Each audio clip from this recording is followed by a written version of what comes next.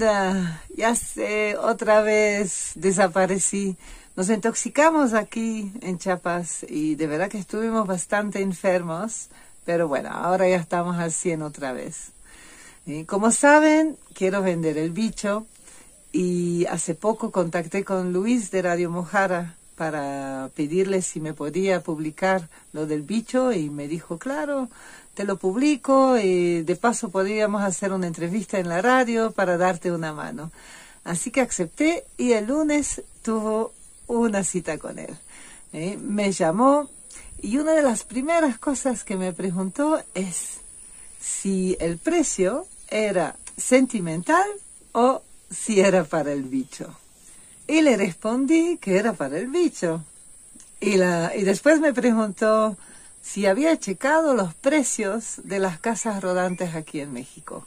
Y le dije que en México no había encontrado nada similar el bicho. Y de ahí me lo fue tirando por abajo. ¿eh? Me dio unos consejos y me di cuenta que él no sabe lo que tiene el bicho. No sabe lo que es el bicho. Pero yo sí sé. Así que les voy a explicar un poquito cuál es la diferencia entre el bicho y las casas rodantes que están fabricadas en Estados Unidos, que se pueden conseguir acá en México. Primero hablamos de la carrocería. El bicho está fabricado de un metal bien duro, muy robusto. Los muebles son hechos de madera firme. ¿eh? No es como las casas rodantes eh, americanas que es una lámina de, aluminio remachada y lo muy finita y los muebles son hechos como de un cartón prensada. ¿eh?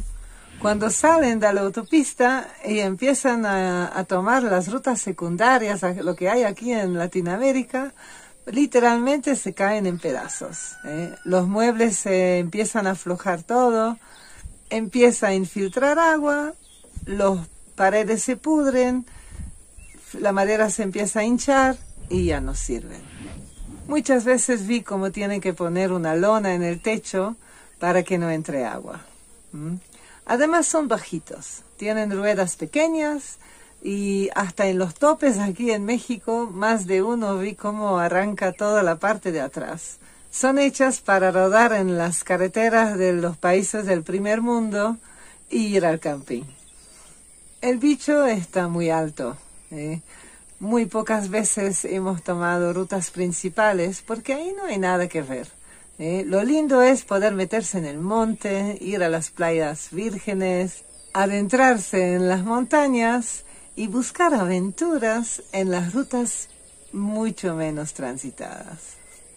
Es verdad que el bicho es lento, ¿eh? no puedes andar más de 90 por hora y en su vida pues parece un caracol. Pero cuando viajas no hay necesidad de ir rápido. ¿eh? Es para disfrutar del paisaje, de andar despacito y así también se minimiza eh, la posibilidad de tener un accidente. ¿eh? El bicho es un poco parecido a un tanque. Luego está la mecánica. Hoy en día los vehículos son hechos casi desechables y tiene mucho electrónico. Muchas veces hemos visto viajeros que, que tienen problemas electrónicos y donde no hay el programa o la computadora para resetearlo. Así que tiene que traer un mecánico que viene con la computadora bajo el brazo, a veces tiene que venir en avión y todo eso para que el camión siga andando. El bicho es muy diferente todo es mecánico, todo es robusto, cualquier mecánico lo puede reparar o uno mismo, ¿eh? y no tenemos todos esos problemas de humedad que ya no arranca o, cualquier problema que puede tener con todo eso electrónico. Así que yo sé que hay más barato en México, ¿eh? hay más barato, se puede encontrar más barato, pero no son duraderos. El bicho es un fiero. ¿Eh? Eso es para toda la vida. Porque ya no se fabrican bichos como esto. Mira, Cuando llevamos el bicho hace unas semanas a San Cristóbal, vimos que empezó a, a sacar mucho humo blanco. Y yo pensé, Dios mío, ¿será que algo pasó? ¿Será que hay un problema? Me preocupé un poquito porque no tenemos dinero para repararlo ni nada. Yo pensé, Dios mío, ¿qué será? Resulta que aquí tenemos un vecino alemán y es increíble, no es una coincidencia de verdad, porque ese hombre durante más de 30 años ha reparado eh, Mercedes-Benz, lo mismo que tenemos. Así que hablamos con él y con mucho gusto se vino con nosotros un día a San Cris a ver qué había que no iba con el bicho. Abrió el motor y resulta que fue eh, la junta de la tapa que desde el 2003 nunca se había cambiado. Nos costó 500 pesos y unas cervezas y se reparó. ¿eh? Y de paso él me dijo, no te preocupes Shanti, esos camiones son para toda la vida. ¿eh? Pueden hacer un millón de kilómetros. Lo tuyo tiene 120 mil, o sea que tiene todavía mucho para andar. ¿eh? Luis me aconsejó de venderlo al primero que viene con 15 mil dólares. Y bueno, me dio otros consejos y lo escuché, pero luego, reflexionando bien, porque él me dice, Shanti, ese camión ya se amortiguó. Viviste y viajaste 18 años en él. Ya se amortiguó, vendelo y pasa otra cosa. Y luego reflexionando sobre todo lo que me dijo, yo pensé, pero imagínate, te compras una casa ¿eh? y durante 18 años le vas haciendo un montón de cosas para mejorarlo, como hicimos con el bicho. ¿eh? El bicho le pusimos energía solar, lo mejoramos en muchos aspectos, ¿eh? le pusimos seis ruedas nuevas, y los últimos años le metimos mucho dinero, porque pensábamos, si vamos a Alaska, el bicho tiene que estar al 100 para cruzar Estados Unidos y Canadá, porque ahí todo es mucho más caro, la mano de obra es más caro, entonces decidimos que en México lo ponemos al 100 para poder ir hasta Alaska y regresar sin ningún problema. Entonces pensé, digo, si tú tienes una casa, y vivís 18 años en él y lo vas mejorando, lo vas poniendo al tope, al 100, tú lo vas a vender barato porque viviste 18 años en él y ya se amortiguó? Yo no creo, ¿no? Eso no es lógico. Y me dijo, ¿cómo llegaste a ese precio? ¿Eh? Y yo le dije, bueno, en Argentina está valorizado a ese precio. Y me dice, pero bueno, en Argentina todo es más caro. Una combi vale 20 mil dólares. Y tiene razón. En Argentina los vehículos son mucho más caros. Pero eso no quiere decir que el bicho no tiene valor.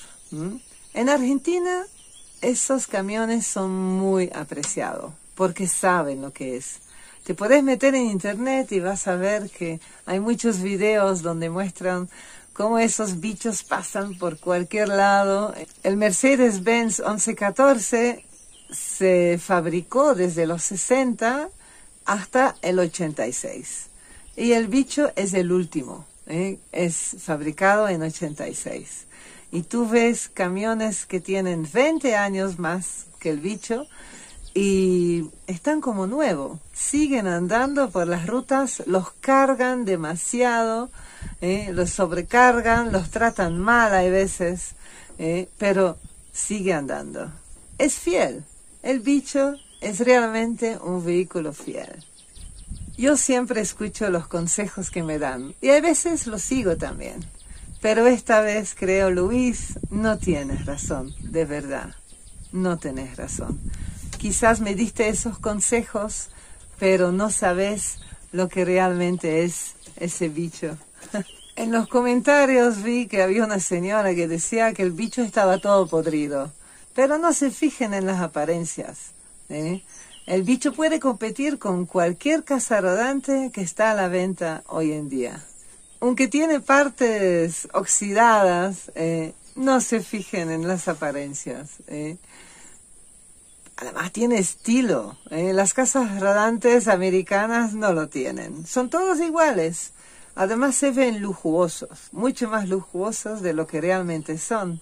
Entonces imagínate, estás viajando en cualquier lado de Latinoamérica y te cobran más cuando andas con una casa rodante hecha de fábrica. ¿eh?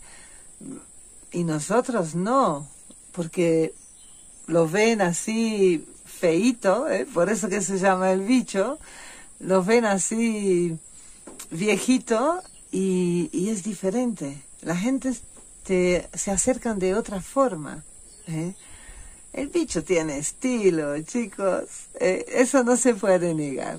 Además, adentro es súper cálido.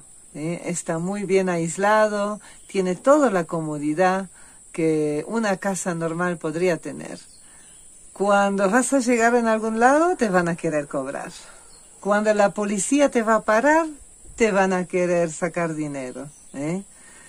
Cuando llegas al mecánico, te van a cobrar más de lo normal. ¿eh? Y todos esos problemas no lo tenés con el bicho. Antes de, ponerlo a la venta, eh, lo hizo cotizar en varios lugares en Argentina. Y ese es el precio que me dieron. El día que lo iba a publicar, estaba estacionado en el Chedraui y había unos franceses viajeros también en una casa rodante eh, que estaban al lado mío. Y les comenté que quería vender el bicho y que hoy iba a hacer este, una publicación. Y le dije, voy a pedir 35 mil dólares, ¿qué les parece? Y ellos me dijeron, Shanti, eso es muy barato. Igual en Europa no conseguís nada para 35 mil, ¿eh? nada comparado con el bicho. Así que bueno, lo lancé al precio que me dieron en Argentina. Ahora, yo sé que no es regalado, yo lo sé. Y, pero digo, voy a probar, lo voy a lanzar y ver, ver la reacción de la gente. ¿eh? Así que bueno, entre tú y yo, si alguien viene con 35 mil, lo vendo. Porque con esto tengo más que suficiente para empezar una nueva vida aquí donde estoy. ¿eh? Así que bueno, chicos, no se asustan del precio. ¿eh? No se asustan, vengan a verlo, si están interesados, vengan a verlo y se van a dar cuenta. Si saben algo de mecánico, se van a dar cuenta cómo está. Si conocen un poco el Mercedes-Benz y ese modelo, van a saber que ya no se fabrican de esos, que es mucho mejor que uno nuevo, de hecho. Nosotros estamos apretados económicamente, necesitamos dinero para seguir adelante. Y estoy abierta, estoy abierta a negociar. ¿eh? Así que si hay alguien interesado, ¿eh? contáctenme y vemos. Me gustaría que sea un viajero que agarra el volante y que sigue nuestros pasos, que sigue la aventura, porque el bicho no está cansado, para nada. ¿eh? Así que que alguien me cuenta quién quiere viajar y vemos cómo hacemos para que pasa a otras manos. ¿De acuerdo?